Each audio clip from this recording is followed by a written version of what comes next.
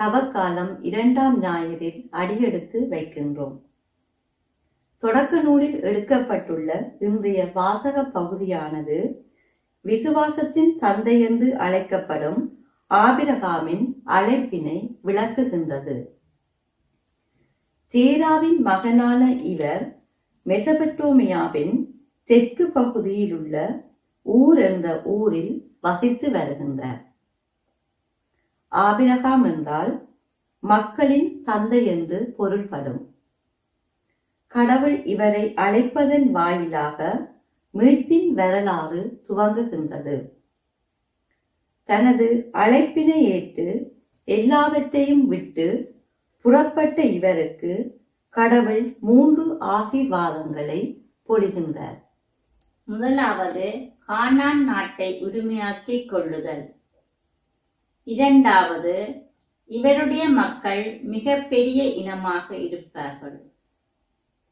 மூன்றாவது கடவுளின் அருள் இவரின் மூலம் உலக மக்கள் அனைவர் மீதும் பொழியப்பட்டு அவர்கள் இறைவன் பால் திரும்புவார்கள்.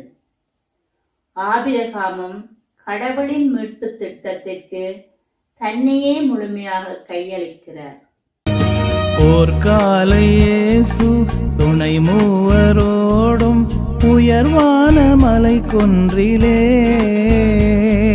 சீரான தந்தைப்பால் ஜபம் ஜெபம் செய்த போது திகைப்பான உருவாகியே.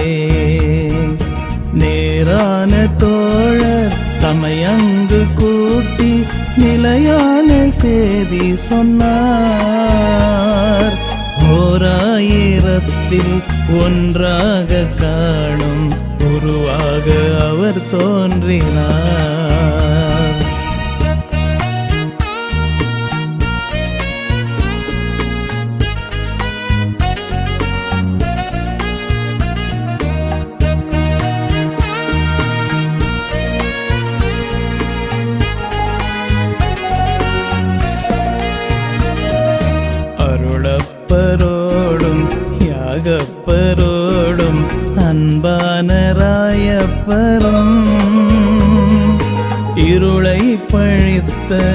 கதிராக வந்த இவர் மேனி தான் கண்டன. திருவோடு மின்னும் ஒளியாக மேனி ஜகஜோதி வடிவானதே. உருவம் விரித்து இறையோடு ஒக்கும் புனிதங்கள் அவர் கண்டதே. முற்கால ஞான எலியாசினோடும் மோயிசன் தன்னோடுமே எக்காலும் தேவன் எழிலே சுனாத இணையாக உரையாடினார்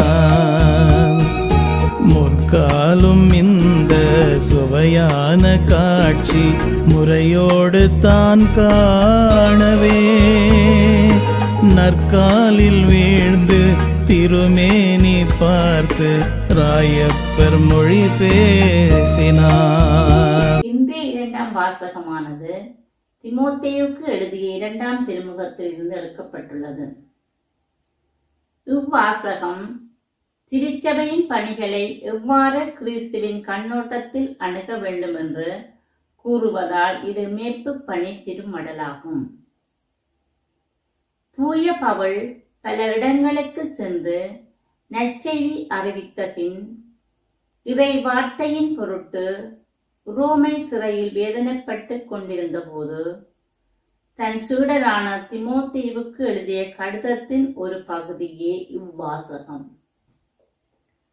இவர் எபேசுவின் ஆயராக இருந்தபோது கிறிஸ்துவின் பொருட்டு விசுவாசிகள் மிகுந்த வேதனைக்கு உள்ளாகி இருந்தார்கள். இந்த நிலையில்தான் தூய பவுல் தனது கடிதம் வாயிலாக தன் சீடருக்கும் மற்றும் மக்களுக்கும் மன உறுதி அளிக்கின்றார். வாழ்வில் வரும் துன்ப துயரங்களை கண்டு மனம் கலங்காமல் தங்களுடைய விசுவாசத்தில் உறுதி அடையும்படியும் கிறிஸ்துவில் வாழும்படியும் கேட்டுக்கொள்கின்றார்.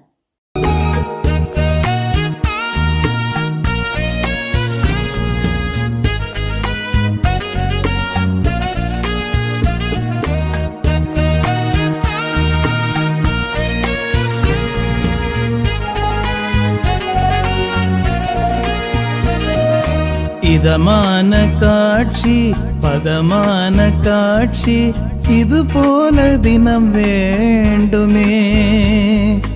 புதிதாக இங்கு கூடாரம் கட்டி அமர்வாயோ புகழ் கொன்றமே. இதை இங்கு செய்ய நான் உண்டு உங்கள் அதிகாரம் துணை வேண்டுமே. உதவுங்கள் என்று ராயப்பர் சொல்ல ஒளி வீசும் ஒரு மேகமே.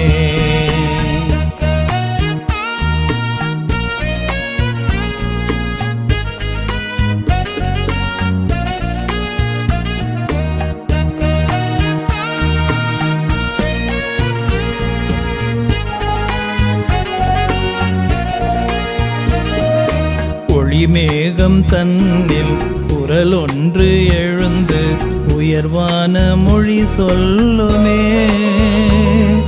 அழியாத செல்வன் இவனே என் மைந்தன் அகலாது ஆனந்தமே. விழியோடு காதை இவன் மீது வைத்து விளங்கட்டும் ஜனமன்றமே. வழியோடு வாழும் அது காணக்கூடும் வளமாக எக்காலுமே. இடி போன்ற வார்த்தை செவியேற ஏற இணையான அவர் சீடரே. அடி மீது வீழ்ந்து அவை அஞ்சி நிற்க அது கண்ட நொடி போதிலே. வடிவான இயேசு அவர் மேனி தொட்டு மருளாதிர் என் தோழரே. முடிவென்று சொன்னார் அவர் சீடர் பார்த்தார் ஒரு பேரும் அங்கில்லையே.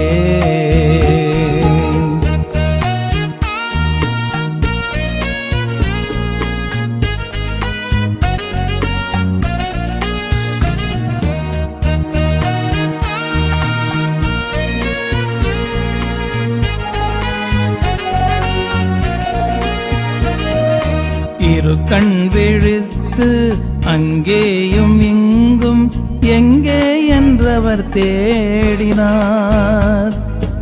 ஒரு பேரும் இல்லை தவமைந்தன் மட்டும் அவரோடு உரையாடினார். சிறு குன்றை விட்டு வெளியேறும் போது திருச்செல்வன் தம் தோழரை மறுநாள் வரட்டும் அது மட்டும் செய்தி மறையுங்கள் என கோரினார். மறையுங்கள் என கோரினார். இன்றைய நற்செய்தி வாசகமானது புனித மத்தேயு எழுதிய நற்செய்தியிலிருந்து எடுக்கப்பட்டுள்ளது. மத்தேயு மற்ற ஒத்தமை நற்செய்தி நூல்களில் இருப்பது போலவே உருமாற்ற நிகழ்வை படம் பிடித்து காட்டுகின்றார். இந்த நிகழ்வு தாபூர் மலையில் மூன்று சீடர்களுக்கு மத்தியில் நிகழ்கின்றது. இந்த மலையானது எஸ்தராயேலோன் சமவெளியில் ஐநூற்றி எண்பத்தெட்டு மீட்டர் கடல் மட்டத்திற்கு உயரத்தில் அமைந்துள்ளது. ஆனால் சிலர் அது அவ்வளவு உயரமானதல்ல என்று கூறி கலிலேயாவின் வடபகுதியில் யோர்தான் நதி உற்பத்தியாகும் பகுதியில் உள்ள எர்மோன் மலையில் நடந்திருக்கலாம் என்று கருதுகின்றனர். ஆயினும் இயேசு இங்கு உருமாறினார் என்ற நிகழ்வை விட தன் வாழ்வில் குறுக்கிட்ட துன்பங்கள் துயரங்களைக் கண்டு துவண்டு போகாமல் தந்தையின் விருப்பத்தை நிறைவேற்றும் லட்சியத்தில் உறுதியடைந்தார். என்பது அனைவரும் ஏற்றுக்கொள்ளும் உண்மை.